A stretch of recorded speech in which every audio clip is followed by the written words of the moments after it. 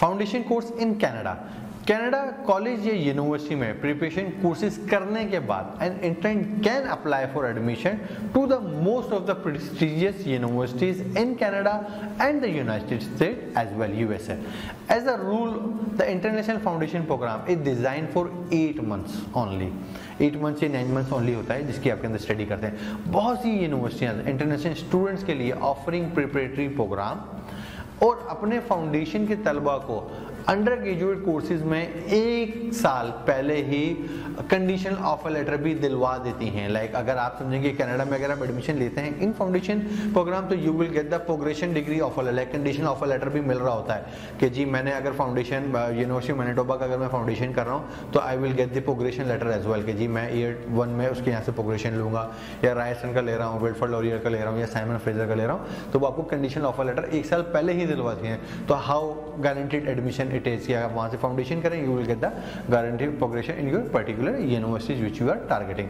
ऐसा करना, आपको कोई एडिशनल एग्जामिनेशन नहीं करना पड़ता, कोई पर्सनल इंटरव्यू नहीं देना होता है इट्स जस्ट अ रूटीन अगर आपने फाउंडेशन क्राइटेरिया को मीट कर लिया you will get the condition of but उस फाउंडेशन को पास करने की एक स्पेसिफिक रिक्वायरमेंट होती है, जो university university institute institute vary कर रही होती है, वो आपने ज़रूर देखनी है कि जी वो 65 है 70 है 80 है 90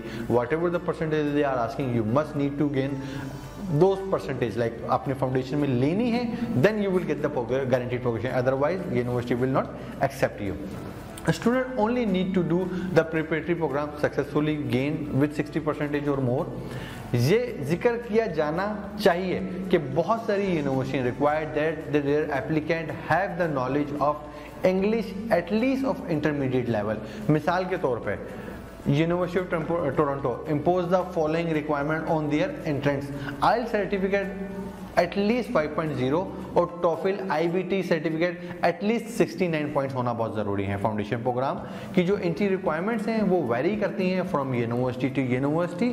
please check your specific, या chosen यूनिवर्सिटी requirement और website, then you will know.